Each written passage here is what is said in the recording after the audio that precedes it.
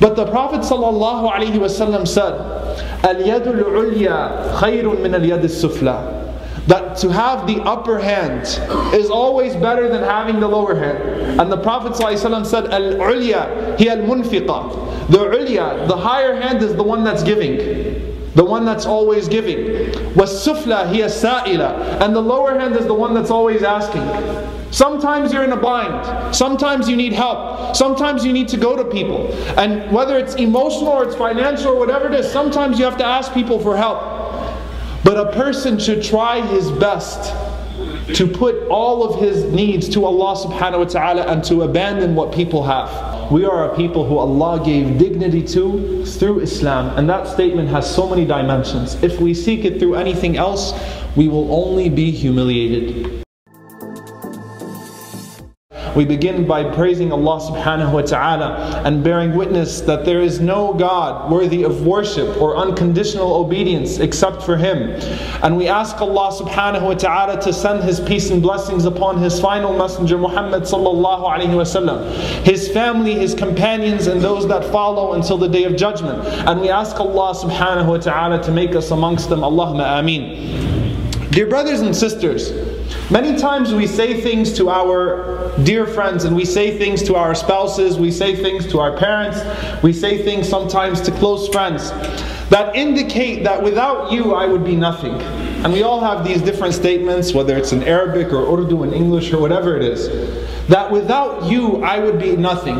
Where would I be without you? You are my sanity right? And it depends what language you're in, and then the, the mujamala, the exaggeration gets more and more and more and more. And while it's good to be nice to people and it's good to express shukr to people and gratitude to people, unfortunately, many times there's a lot of truth in that statement.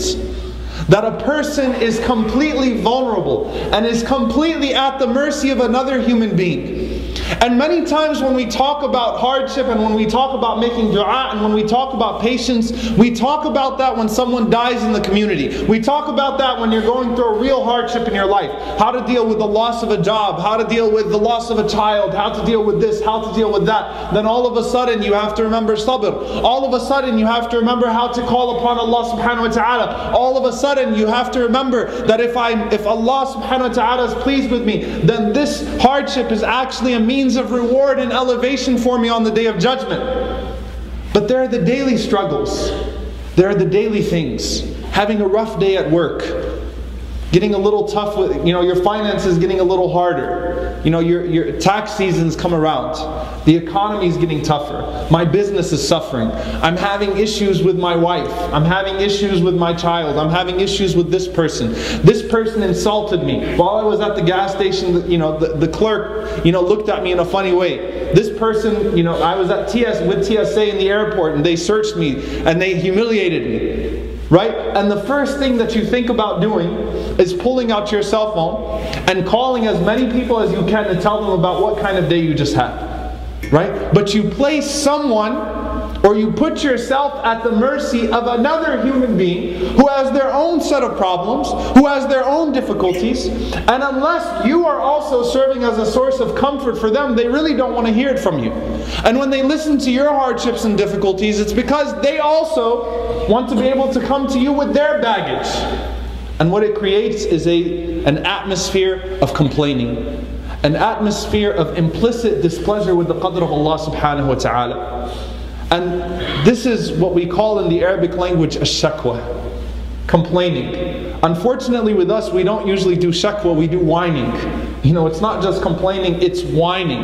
It's complaining in a way that I'm displeased with Allah subhanahu wa ta'ala. And in essence, when you really think about this, and Imam Ibn al-Qayyim rahimahullah, he was talking about a man who was, who was always telling other people about his problems, always complaining to them about his situation, about how, how life is really getting tough for me. And Imam al-Qayyim rahimahullah, what did he say? شَكَوْتَ مَنْ يَرْحَمُكَ إِلَى مَنْ لَا يَرْحَمُكَ You complained about the one who has mercy upon you to one who has no mercy upon you.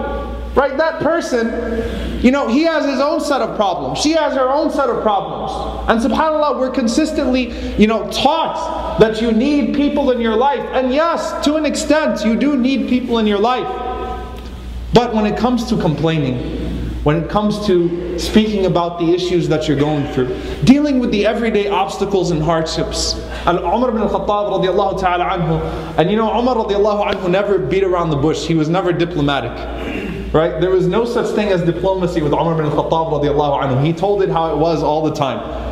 So he was talking to a man who was always complaining to people, right? Not complaining as why did Allah do this to me and why did why am I going through this and why do good things happen to bad people and bad things happen to good people. He wasn't complaining in that way, but implicitly when you when you keep on talking about how miserable your life is because your laptop broke down or you dropped your iPhone in, in, in, a, in a fish tank or something like that, when you're consistently speaking that way, you're expressing displeasure with Allah subhanahu wa ta'ala. Especially when you go telling other people about it. So Umar ibn Khattab said, listen, ليس في الشكوة إلا أن تحسن صديقة أو تشمت عدوة.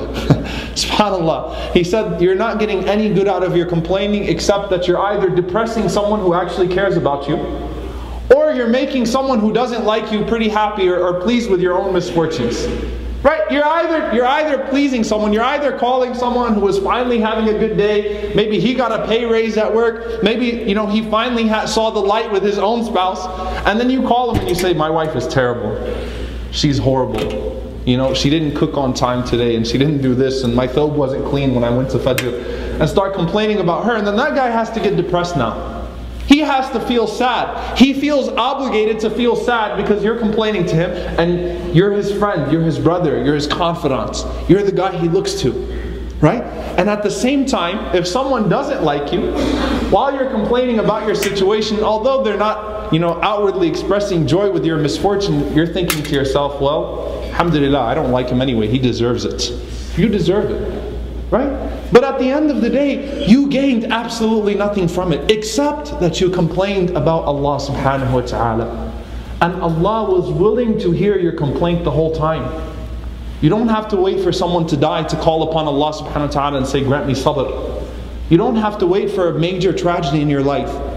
Daily shakwa to Allah subhanahu wa ta'ala in a way that doesn't express, dis- express displeasure with your situation, but in a way of trusting Allah subhanahu wa ta'ala, loving Allah subhanahu wa ta'ala, knowing that Allah subhanahu wa ta'ala is the only one who is both capable and willing to listen to me and help me at any time. And I want you to think about this advice for a moment. There's an authentic hadith in Muslim Imam Ahmad. It's a very powerful hadith. You know, we, know, we have hadith Qudsi, which obviously is Allah subhanahu wa ta'ala talking, and the Prophet are narrating what Allah subhanahu wa ta'ala has said, but it's not Quran. And obviously we have the hadith of the Messenger alayhi wa But what makes this hadith unique? This hadith is a hadith of Jibreel alayhi salam. But not the hadith of Jibreel, which is what is Iman, what is Islam, what is Ihsan. No, no. Jibreel alayhi salam advising the Prophet sallallahu alayhi wasallam. It's an authentic hadith outside of his capacity of delivering the wahi.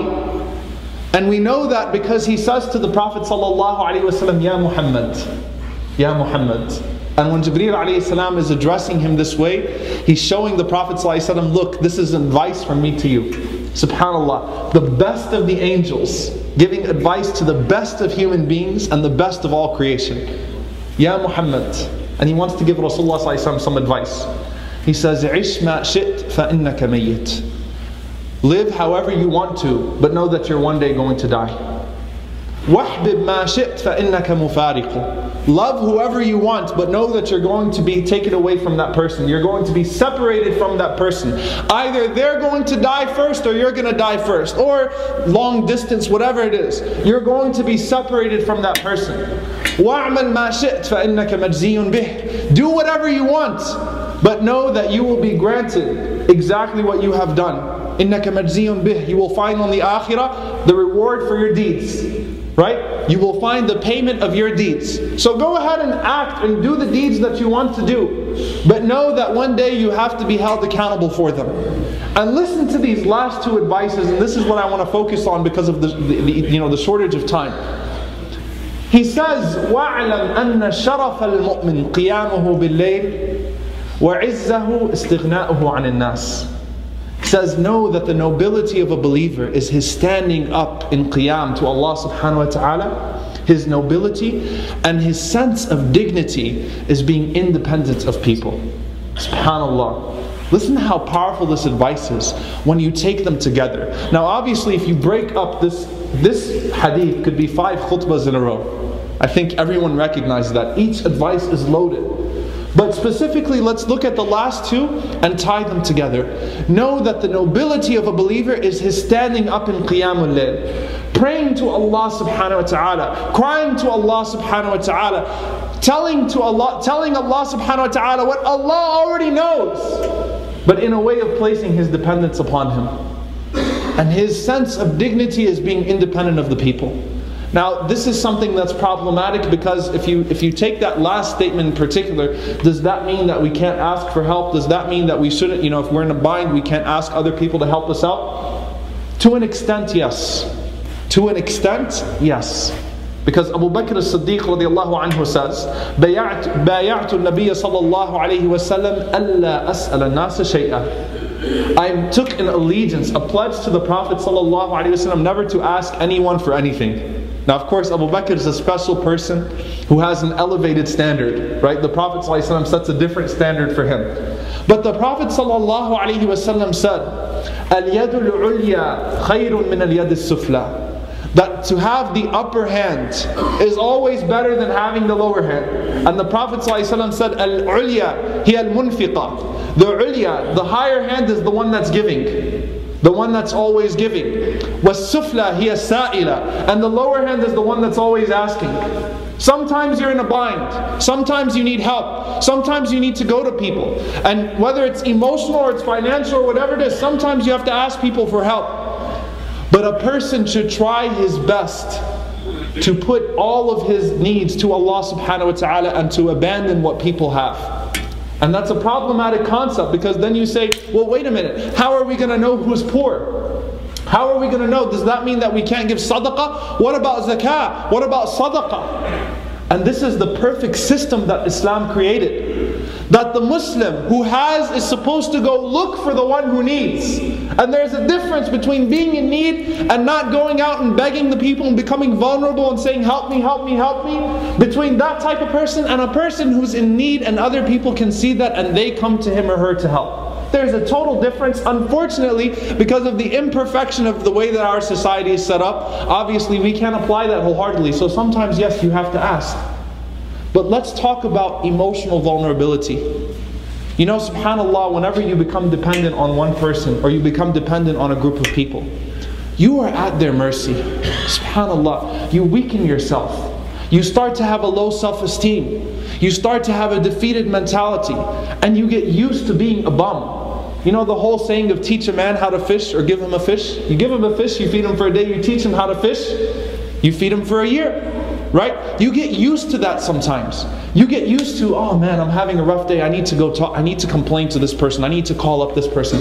Oh, I need money. I need I know I can always go to this person. I know I can always go to that person and you're complaining and you're making yourself vulnerable and weak and Allah subhanahu wa ta'ala يريد لك اليسر Allah wants to make things easy for you and Ibn Rajab rahimahullah he says very beautifully he says that people go to the door of this person and that person and that person this malik and that malik this king or that king but Malikul Muluk the king of kings has his door always open for you and you only go there in times of tragedy.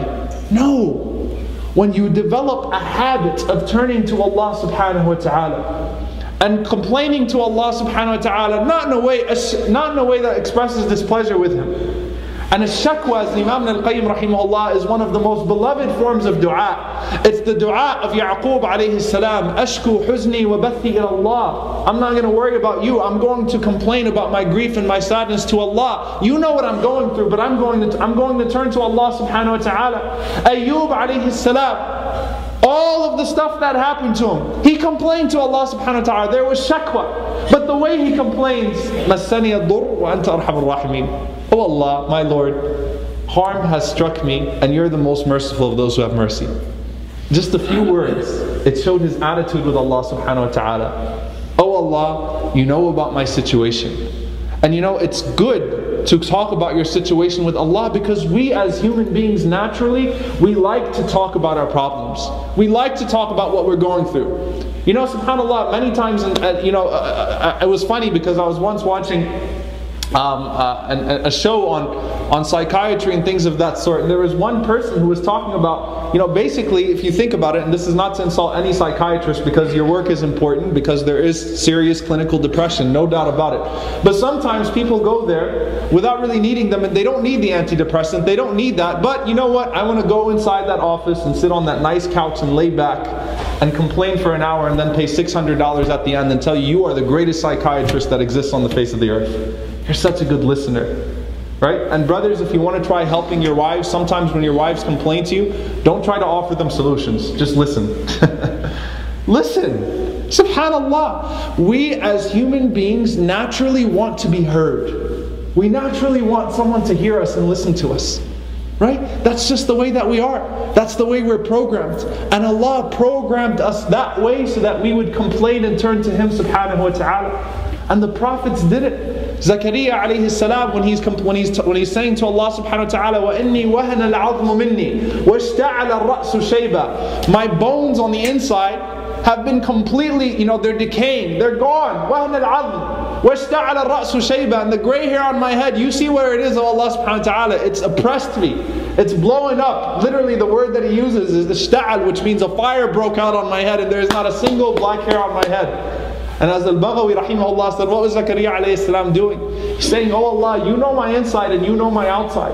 أنت الغني ونحن الفقراء إليك أنت القوي ونحن الضعفاء You are the one who's self-sufficient and we are completely in need of you. You are the one who is all bestowed with power and endowed with power.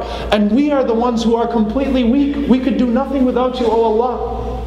That way you're not expressing displeasure with Him. But you know what? Someone hears you all the time. And when you have Allah subhanahu wa ta'ala, you don't need anyone else to hear out your problems. You don't need anyone else to listen to your problems. Because you know that you're calling upon the one who doesn't get who doesn't get saddened whenever you call upon him. You're not going to harm Allah subhanahu wa ta'ala. But you know that you're calling upon the one who has your best interests, who has your best interests as a priority, and at the same time is fully capable of helping you at any time. We ask Allah subhanahu wa ta'ala to make us amongst those who turn to Him in our everyday lives with our small problems, our minor problems, and with our harsh problems and major problems and tragedies. And we ask Allah subhanahu wa ta'ala not to make us amongst those who are forbidden from the pleasure and the ladha of turning to Him and making dua and standing in qiyamul layl. Allahumma ameen. أقول قولي هذا واستغفر الله لي ولكم ولسائر المسلمين فاستغفروا إنه هو الغفور الرحيم.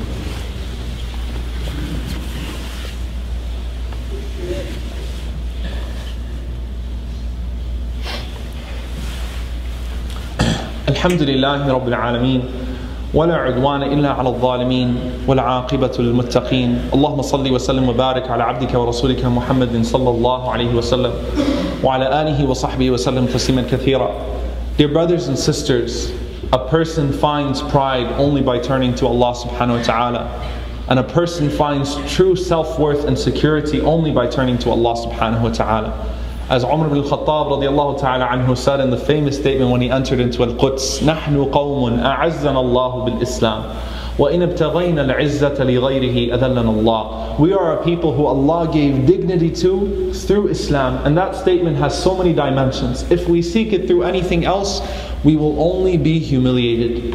Allah subhanahu wa ta'ala will only cause us to be amongst those who are humiliated.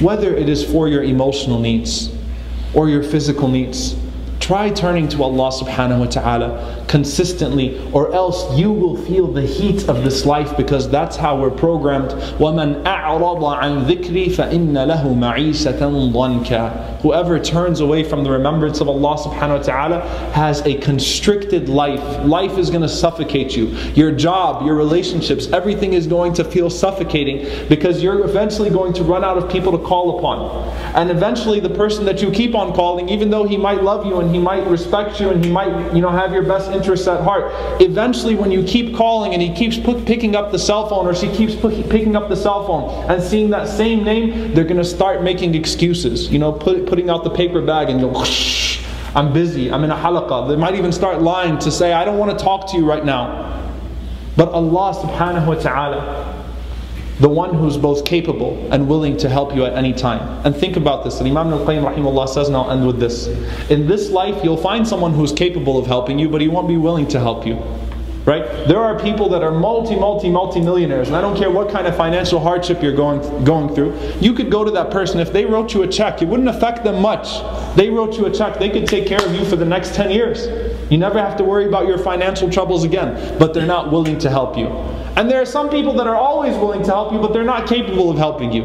Right? Your mother loves you. Your mother wants you to be a rich person. Your mother wants you to have everything in life. Your mother wants you to be the president to be this and to be that but she won't be capable of giving it to you. But Allah is both willing and capable at all times. And Allah subhanahu wa ta'ala, unlike people who get upset when you keep on calling them, la yas'alillah yaghdabu alayh. The Prophet says, whoever doesn't ask Allah, Allah becomes angry with him for not asking of, for not asking of him. So develop that relationship, strengthen that relationship, direct your concerns towards him and know that Allah subhanahu wa ta'ala will make, make a way out for you. As Imam al-Shafi'i rahimahullah says, إِنَّ الْوُقُوفَ عَلَى الْأَبْوَابِ حِرْمَانُ To stand at the doors of people is a way of forbidding yourself. Right? It's a way of depriving yourself. And he says, rahimahullah ta'ala, إِنَّ الْوُقُوفَ عَلَى الْأَبْوَابِ حِرْمَانُ وَالْعَجْزُ أَنْ يَرْجُوَ الْإِنسَانُ إِنسَانًا And disability and laziness and incapability is that a human being needs another human being.